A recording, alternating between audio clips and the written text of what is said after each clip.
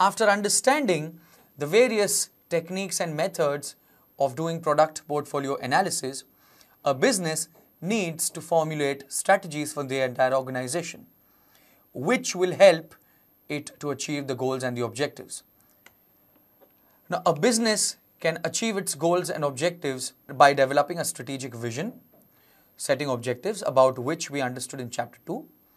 And in this chapter, we're going to understand the third point in this flowchart, which is crafting a strategy to achieve the goals and objectives. As we understood earlier in chapter 2, a strategy is nothing but a tool to achieve my set goals and objectives. Now, after crafting these strategies, we need to go ahead with implementation and monitoring of these strategies, about which we are going to understand in chapter 5 and 6. So, going ahead with chapter 4, there are various strategies that a business can adopt. Majorly, three types of strategies. Now, the best cost provider strategy that you can see, the second, is one alternative. Now, mainly, the chapter consists of Michael Porter's generic strategies, grand strategies by William Glueck and Lawrence George, and defensive strategies. So it majorly consists of these three types. Now, let us just try to understand Michael Porter's generic strategies, which are cost leadership strategy, differentiation strategy, and focus strategy. Now, we will take a few examples to understand these strategies here itself. Say, for example, Bajaj, which is into making two-wheelers follows a cost leadership strategy because it is into optimum utilization of resources, it is into full utilization of capacity, it is into forward integration and backward integration. And thus what it will do is it will try to keep its cost as low as possible, obviously providing a quality product, because of which it has an edge over the competitors in terms of the price. And thus, it tries to become a cost leader so that even if the business has to reduce the cost price, I'm sorry, the selling price, it can do so because the cost price has been kept as low as possible due to efficiency. Now, thus, what a business will try to do is it will become a cost leader in the market. And cost leader will have a majority of the market share. Now, taking an example of a differentiation strategy followed by a business is where a business will distinguish itself from the other players in the market by doing something new, unique, creative. And it may charge a premium price for the product as well. Here, I'd like to take an example of Honda. Bajaj, which is a cost leader, will sell a bike at a price way below what of what Honda sells. If you compare 100cc bikes of both Bajaj as well as Honda, we will observe a great difference in the price. Honda, on the other hand, tells us that it manufactures products of superior quality. So people don't mind paying a premium price, which the, the business demands, certainly. So cost leadership strategy will be followed by a business which wants to have an edge in terms of the pricing of the product.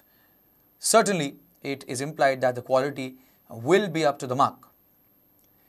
But if people think that there is a product which has some uniqueness, which has some USP, that is a unique selling proposition, people don't mind paying a little more. And such businesses are adopting a differentiation strategy. The example that we just took, Honda. Now, regarding focus strategy, a business will go after a small group. Now, businesses that follow cost leadership strategies and differentiation strategies cover up majority of the market share. And the remaining market share which these two types of strategies uh, which the businesses are following. Now, whatever these businesses are not focusing on, are focused by companies which are into selling products to only a certain group of consumers. Now, since we took an example of two-wheelers, in cost leadership strategy, there will be Bajaj. In differentiation strategy, there will be Honda. And in focus strategy, there will be Ducati. Ducati only makes high-end bikes. Now, one of the recent bikes it has made is Ducati 1200cc Multistrada, which it sells around 25 lakh rupees. So there it goes purely after one small group of consumers, which are the target audience.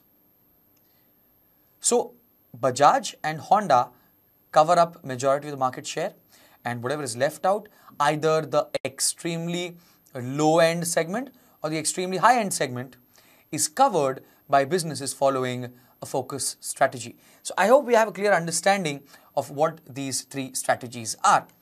And we can just take a look about the details of differentiation strategy and the focus strategy in the slides to come.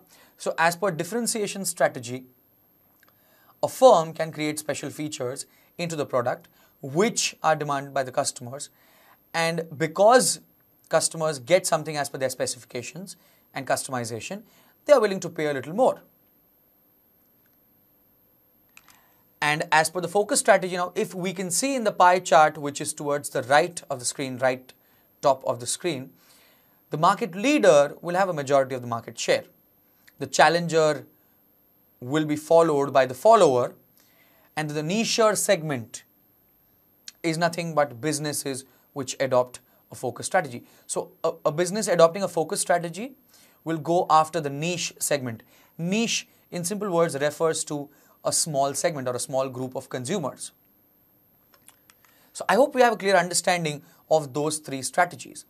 Now the next strategy is called grand strategy or directional strategy. In this strategy what happens is we understand two basic things intensification and diversification.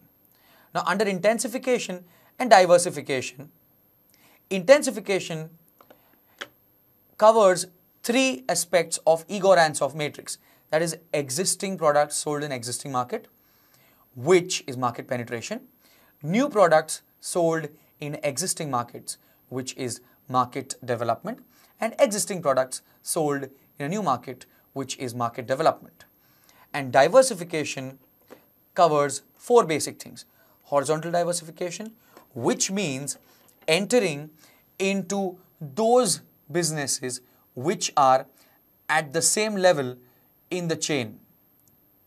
Now, we understood about vertical diversification, which was nothing but backward integration and forward integration, whereby under backward integration, I go backwards in the chain of distribution, which means I go backwards, that is to have control over the cost of my raw materials, I may enter into the business of my raw materials itself. And forward integration will refer to going ahead in the chain of distribution, which means if I'm into supplying of only raw materials, I may start retailing. Now, this is to combat the bargaining power of suppliers and consumers respectively. Now, going sidewards in the chain of distribution is nothing but horizontal diversification, which includes acquiring businesses which are into the similar products or services as my business or entering into similar lines of business. Now, for example, if Bajaj starts making steel and other metals which are used in the spare parts, which obviously it makes on its own, that will be an example of backward integration because the raw materials will be metals for its spare parts. And Bajaj opening up its own service centers for servicing the vehicles that it sells will be an example of forward integration. Now, Bajaj is also into insurance. Bajaj is also into Bajaj Finance. Now, this is nothing but an allied business, which is neither backwards nor forward, but sidewards, which is an example of horizontal diversification. So, I hope we are clear with horizontal and vertical diversification. Now, concentric diversification is simply what MT Educare is into. The products are interrelated and the same facilities can be used for manufacturing multiple products. MT Educare is only into educational products, which is nothing but concentric diversification where the products are closely connected. On the other hand, conglomerate diversification will refer to such a diversification where one facility cannot be used to actually come up with products which the business is into. For example, MT Educare is into providing education to the junior college students that is 11th and 12th. And the same classrooms that are being used to coach the students of 11th and 12th standard can be used to coach students pursuing CA or CS or MBA entrance exams or TYBCom or TYBMS. Now, this will be an example of concentric diversification. Uh, I'd like to take an example of ITC, which is Indian Tobacco Corporation Limited, which is a conglomerate organization and its diversification is conglometric diversification, whereby we can just list down a few of the products it is into. Uh, two of the main businesses that it is into is cigarette making and luxury hotels. Now, these two businesses have no direct connection with each other. Now, these two have no direct connection with Sunfeast biscuits. These three have no direct connection with Aashirvaad Atta, which is wheat flour. Now, these four have no direct connection with its stationery business under the brand name Classmate. And these have no connection with its range of personal care, which is Fiama Di Wills and Vivel. So, this type of diversification will be a conglomerate diversification. And three other strategies that we need to understand here in the grand or the directional strategies is a stability strategy, an expansion strategy, retrenchment strategy, and combination strategy. Now, what we just understood, intensification and diversification, is a part of expansion. Stability strategy is a strategy where a business will not do anything new and continue to prevail in the same markets, sell the same products. It will try to do a little bit of market penetration and no other new stunt as such in terms of expansion or diversification or growth as such because of probably a hostile or uncertain business environment. So it wants to wait and watch till the time it gets clarity of what exactly to do and how to go ahead. Now, expansion strategy is nothing but what we are seeing on the slide. Retrenchment strategy is something that we're going to discuss in just some time to come. And a combination strategy will be a combination of either of the two or three. Now, a simple example of a combination strategy will be where MT Educare, which was earlier into preschool coaching, which is the playgroup and nursery, under the brand name Little Tigers, it gave off that business and it got out of that business and obviously the money that came from there was invested in its current business. So if we have to take an example of selling of that business, that will be a retrenchment strategy. Retrenchment, in simple words, means taking a back foot in terms of business. Now, this is not always because the business is not doing well. If it feels that a product or a business unit has become a dog as per BCG matrix, a business will obviously adopt a retrenchment strategy. And the earnings that it gets out of selling that business unit or after getting out of that product that it is into currently, it will certainly make sure that those funds are diverted to its main existing business, which is nothing but an expansion. So, this will be an example of a combination strategy. As I mentioned just a few minutes ago, retrenchment is nothing but when I take a back foot. So, I either reduce my product line or I close down the poor divisions because the situation is a little adverse and hostile. So I reduce my advertising, I reduce the executive perks. Now, perks are nothing but the perquisites, the additional facilities apart from salary and remuneration that employees get. I may even withdraw from a few markets. So, this is nothing but retrenchment where I take a back foot in terms of my business. Now, divestiture is nothing but divestment. One nice example that I'd like to take here is an example of Centaur Hotel. Centaur Hotel was owned by the government of India. The Hotel Corporation of India owned Centaur Hotel. There were two Centaur hotels, one near the airport and one in Juhu, which is an area in Mumbai. And the airport, obviously, I'm talking about the Mumbai International Airport.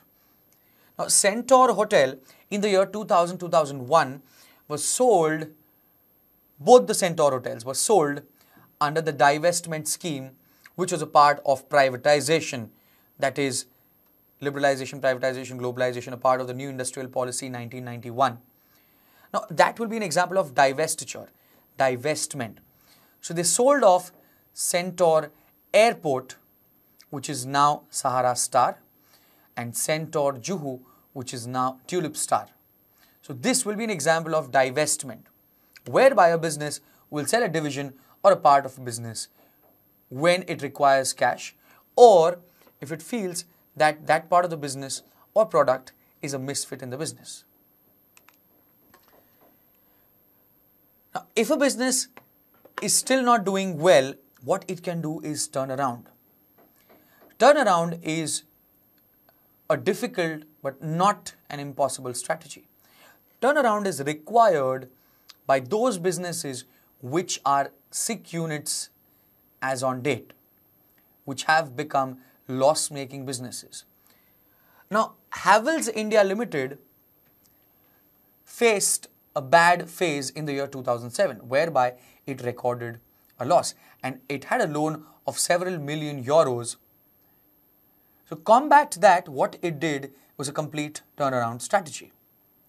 So it sold off a few business units, It closed down a few, uh, few of the operations running in various countries. Havells laid off a few employees, obviously following the labor laws, because of which there was no unrest among employees. And after doing all these things, in just two years down the line, which is 2009 and 10, it recorded profits. This is nothing but an example of turnaround. Apple Incorporated also faced a bad phase in the year 1995 and 1996 with Mr. Steve Jobs, the then CEO, being removed by the board of directors. So, this is nothing but a turnaround strategy where a business will improve the internal efficiency in the first place. It will try to convert a loss making business into the profit making business and try to bring it back to its former glory and this may also require a change in the top management because only if the engine is strong enough, it can pull off a train. And it, it needs to take credibility building actions because of the loss of reputation that may have taken place.